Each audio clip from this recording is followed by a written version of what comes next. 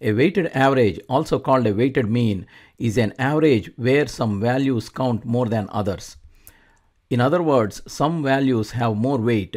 Each value to be averaged is assigned a certain weight.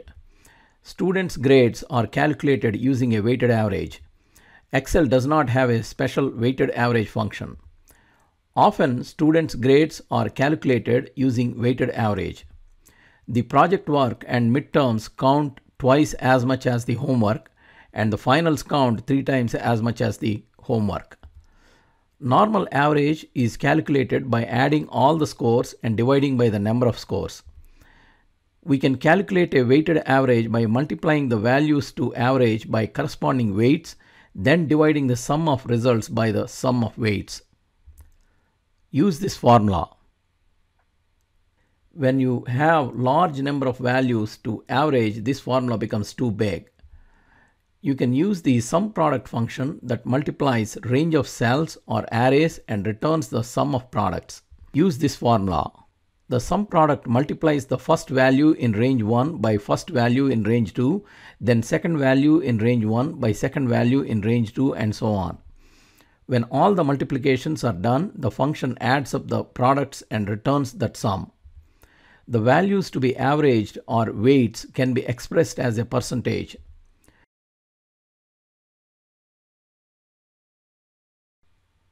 To find the weighted average for a list of students in column A, enter the scores in column B, C, etc.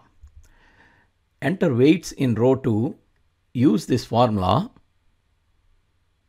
use absolute reference for weights range to copy the formula down you will get a pound value error if both the ranges pass to SUMPRODUCT are of different dimensions. You can also enter weights as vertical range. The SUMPRODUCT function requires that array dimensions be compatible. If dimensions are not compatible, SUMPRODUCT will return a pound value error. When you try to use the weights listed in a vertical range in this formula, we get a pound value error. To calculate a weighted average with the same formula, we need to flip the weights into a horizontal array with the transpose function. The transpose function converts the vertical array into horizontal array before passing it to SUMPRODUCT, which returns the weighted average.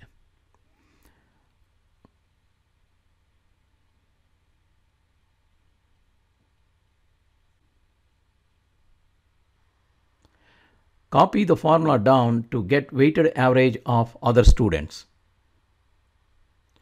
To download example Excel file, please click on the link in the description. If you like this video, please subscribe to our channel.